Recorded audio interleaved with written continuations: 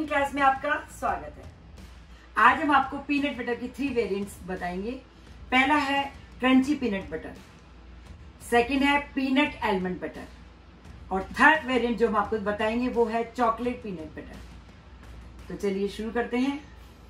तो इसके लिए हमें चाहिए two and half cup peanuts half cup almonds one fourth cup cocoa powder half cup powdered sugar salt और as per need peanut oil peanut butter बनाने के लिए हमें मूंगफली को सबसे पहले रोस्ट करना है। हमने इसके लिए बिना छिलके वाली मूंगफली ली है। मूंगफली को फ्राइंग पैन में डालकर हम मीडियम फ्लेम पर इसको रोस्ट करेंगे। जब मूंगफली का कलर चेंज हो जाए या इसमें थोड़ी खुशबू आने लग जाए सिकने की तो आप गैस बंद कर दें। आप चाहें तो इसे माइक्रोवेव में भी सेक सकते हैं। हमारी पीनट्स रोस्ट हो चुकी है। अब इनको हमें थोड़ा ठंडा करने के लिए रखना है। तक हमारी पीनट्स ठंडी हो रही है, तब तक हम एलमंड्स को भी रोस्ट कर लेंगे।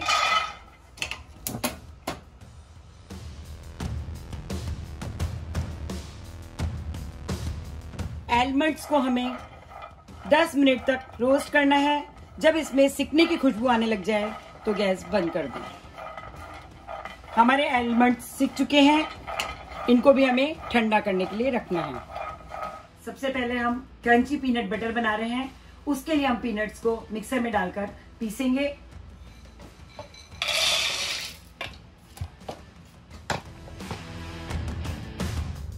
हम क्रंची पीनट बटर बना रहे हैं। इसके लिए हम थोड़ी क्रस्ट पीनट्स को निकाल के रख लेंगे।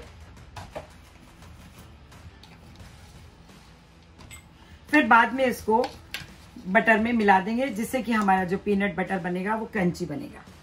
बाकी के पीनट्स को हम और ग्राइंड करेंगे, जब तक कि इसका शाइनी पेस्ट नहीं बन जाता।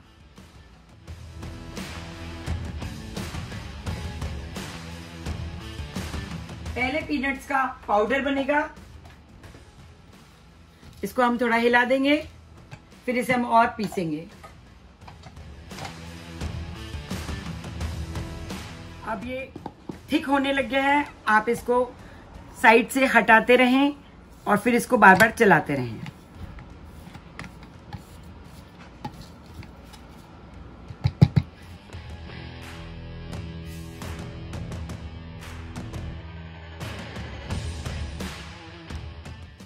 देखिए, हमारा ये बटर काफ़ी सॉफ्ट हो गया है। अब इसको साइड से थोड़ा नीचे कर दें और थोड़ा सा इसको और चला लें।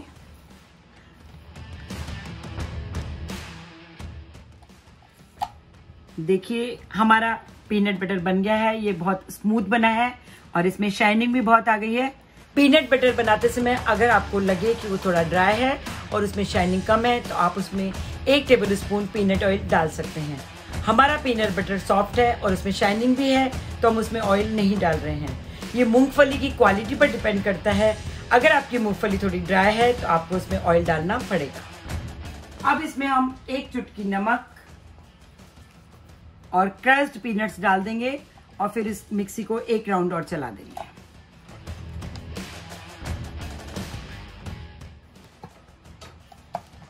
हमारा क्रंची पीनट बटर बनके तैयार हो गया है। हम second variant almond peanut butter बनाने जा रहे हैं। उसके लिए हम रोस्टेड एलमंड्स और रोस्टेड पीनट्स मिक्सर में डालेंगे और फिर हम इसको चलाएँगे।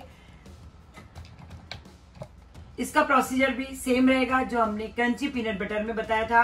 पहले ये पाउडर फॉर्म में आएगा, उसके बाद में इसका क्रीमी और शाइनिंग पेस्ट बनेगा।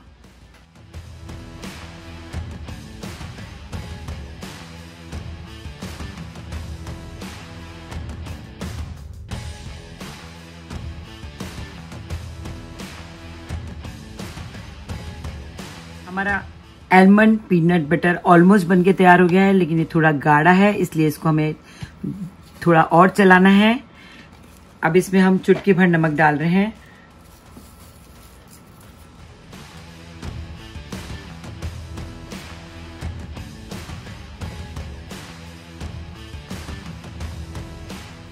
देखिए, हमारा एलमंड पीनट बटर बनके तैयार हो गया है। काफ़ी स्मूथ बना है और इसमें शाइनिंग भी आ गई है। आप एक बात का ध्यान रखें कि इसको बनाने में आपको टाइम लग सकता है। आपको पेशेंस रखना पड़ेगा। आप इसको बीच बीच में मिक्स करते रहें और इसको पीसते रहें।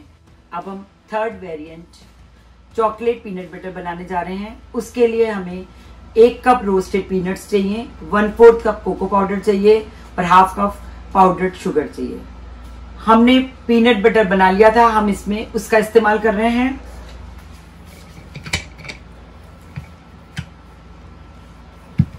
साथ में कोको पाउडर और पाउडर्ड शुगर डालेंगे। फिर हम मिक्सी को वापस से चलाएँगे।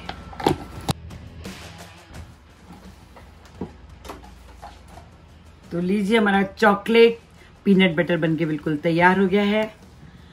अगर आप चाहें तो इसमें शुगर की जगह ब्राउन शुगर या हनी का इस्तेमाल भी कर सकते हैं। तो लीजिए हमारे पीनट बटर के तीनों वेरिएंट बनके तैयार हो गए हैं। आप इन्हें 30 डेज़ तक फ्रिज में रखकर इस्तेमाल कर सकते हैं। आप इस रेसिपी को ट्राई करें और अपने एक्सपीरियंस हमारे साथ ज़रूर शेयर करें। अगर आपको ये पसंद आए तो हमारे वीडियो को लाइक कीजिए और अपने फ्रेंड्स एंड रिलेटिव्स के साथ शेयर कीजिए। हमारे चैनल को सब्सक्राइब करना ना भूलें। बेल आइकन दबाकर हमारे चैनल की लेटेस्ट अपडेट्स पाएँ। हम इसी तरह आपकी ज़िंदगी में स्वाद का तड़का लगाते रहेंगे। Stay safe stay healthy and keep cooking